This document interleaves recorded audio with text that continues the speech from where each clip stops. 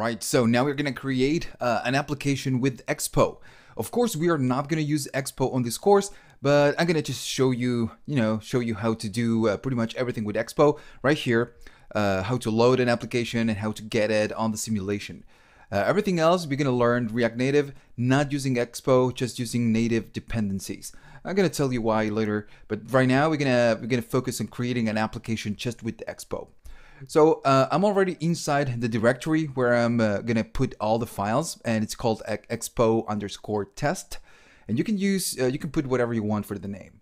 Now I'm gonna use the terminal. I'm gonna go here, and uh, let me just make it a little bit bigger. So uh, to start an Expo application, of course, we've already need uh, to install. We have already installed the tools for Expo, the CLI. We need to do Expo init and then you know you just need to put the the name of your project.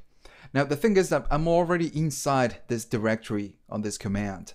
And if i install it right here it's going to bring a directory. Now uh, after before we could do a dot and it will just bring the files but it's not really working lately. So i'm going to do cd and if i do ls i'm inside the you know the parent directory of this uh, directory the expo test.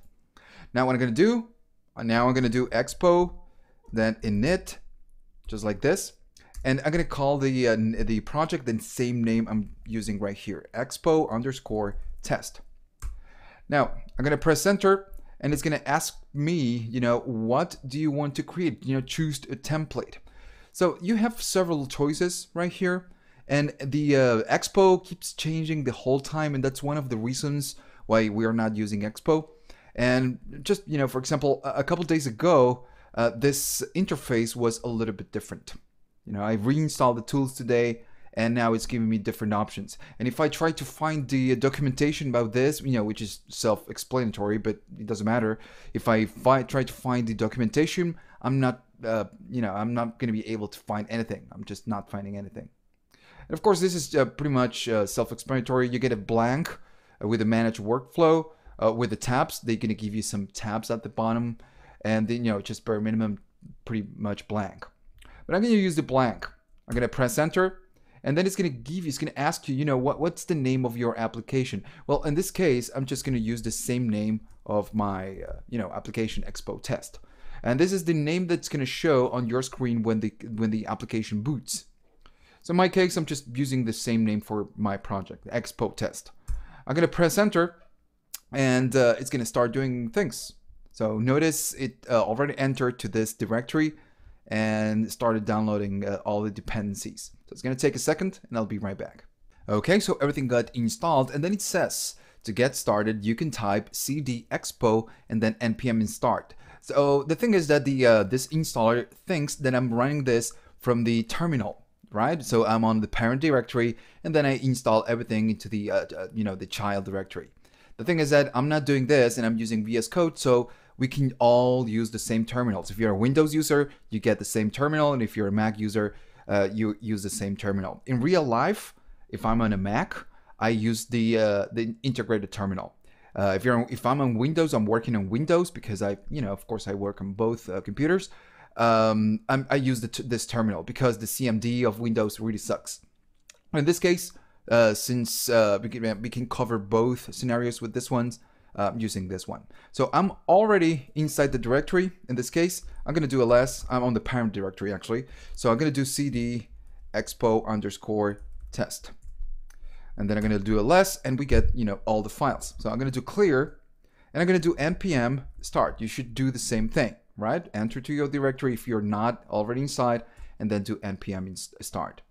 Now this is going to do a lot of things is going to start a development server uh, with Expo and it will attempt to get a simulation of your computer and this is what you're going to get right? This is what you're going to get. So you could do two things. You can run uh, the application on a simulator in your computer in this computer or you can run it from your phone. Now if you go to Google Play let me just try to find it right here. Google Play uh, let me just show this to you. One second. Was not going to do this, but you know, why not? So if we, we search for, for Expo, we're going to get this, this uh, application, this Expo project. So this will not run in your computer. This is uh, an application for your phone. So after you, you will need to install it if, only if you wish. Uh, if you install it, you will need to, of course, log in, register, and everything else. Now, uh, I'm, I'm going to open it in my phone. I'm not going to be able to show you from my phone, but I just can tell you what's going to happen. After you install this application in your phone and you open the application, uh, first you will need to log in or I believe you could run it without logging in. But the first screen, you're gonna get something that says scan QR code. Now, if you uh, tap on that scan QR code, of course, you will need to pause the video, download the app, and everything else. If you tap on that one and you go back to your project, I'm just doing it right now, and you scan your application, uh, it's gonna load the application you have right here. It's gonna transfer all the files, do the conversion, and show a version of this application in your phone. You know, that's, that's really cool. You can run the application you're building uh, with hot reloading and everything else from your phone. Now, remember that this is not running natively in your phone. It's doing a simulation with the Expo application. So what's rerunning, it's the Expo application. Now, when you run this, it's going to open, and let me just make this a little bit less bigger. There we go. And I'm going to bring the Chrome. I'm gonna bring this. So when you run your Expo, it's gonna give you kind of a, a development control panel, right? And this is my phone. I have a cheap phone. I don't really like expensive phones. I live in a dangerous country, so if you have a if you have an expensive phone, uh, you know you, are in, in, trouble. So okay, now of course I cannot show you on the screen what's uh, gonna what's happening right now. If you're running it on your phone, you're gonna see something like open up app.js to start working on your app. And this is what you get when you go to here. So if we go to our application, you know, the main file where, we, where everything starts, which is the app.js, this is what you get in your screen. So of course, if I just maybe change something right here, something else, and I uh, click save, I, of course, I save the file, the application will reload in your phone and it will show you what you have on the screen, right? It's to show you something else. Now, of course, uh, I'm gonna I'm gonna run it with a, the uh, iOS simulator, and of course, you can do this. You can if you are in Windows and you install pretty much everything. You can, you can do you can run it on an Android device emulator, but don't worry, we're gonna do it on the next section, or you can run it on iOS. I've have I, I got everything installed in my computer to run this. Uh, I'm gonna do it so you can we can get the same thing on the screen. You don't need to do this. We're going to do it in the next uh, couple of sections, right? We're to run our application without uh, Expo on the real uh, device emulator. Now, if you're uh, if you do it from here, of course, if you uh, run the uh, simulator or the Android, you're going to get the application. But again, this is not a native application. This is an Expo application. It's the Expo container, right? That's the, the what, what's really happening. So let's give it a minute. Now, maybe in your computer, you're going to see that uh, your application it's building really slow, and that depends on the computer. This is a this is a really fast computer. The Mac I'm using right now, it's really really fast. So uh, you know, it, it takes under a minute to bundle everything. If you have an old computer, uh, I have an old computer just with a standard, uh, you know, HD drive. It takes like six or seven minutes. That's you know standard. And this is because this computer has SSD, uh, 16 gigabytes of memory, and you know, and all of that. So that's why it's taking under a minute. Maybe if you have a slow computer, if it takes five or six minutes, that's normal. To, you know, go go and get a coffee. So notice that when the application uh, boots and everything is ready, I'm getting the something else, which is what uh, we got in our you know our application.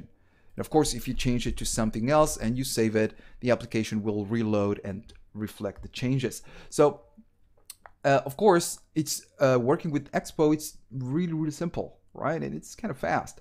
The problem is that again, we are running uh, an application with a container on a, on top of a container on top of a container.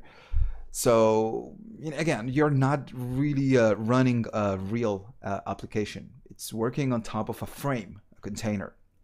Now, what we're going to do on this course we're going to create the applications, uh, the uh, native application, and we're going to use a native environment. Of course, we are use, still using React, which is, you know, a frame, But uh, then we're gonna run the simulation on a real uh, device, like here, in a real simulation with not with Expo, and then a real simulation with the Android. And this, uh, these are the two ways you get uh, in building an application. You know, with a standard configuration, you know, with uh, just the real device, the real uh, no Expo, and then you, of course, you get it with Expo. Now, there are some things. There are some things you cannot do with Expo, like you know, manage native dependencies or something like that. Uh, Expo, uh, it's working on that right now, so you can run a version of your native, most native raw code and run it in Expo, but it's not there yet. It's experimental, not not not there. Not, we are not there with Expo. Uh, but of course, we're gonna we're gonna not use Expo. We're gonna use the just the native way of do things. Because if you learn the native way of do things, the raw way, you can still use Expo, right? Okay, that, that's good. Uh, on the next section, we're gonna run. We're gonna create an application, not with uh, Expo and we're to run it, of course, uh, on the simulator. All right, let's go to the next one and do that.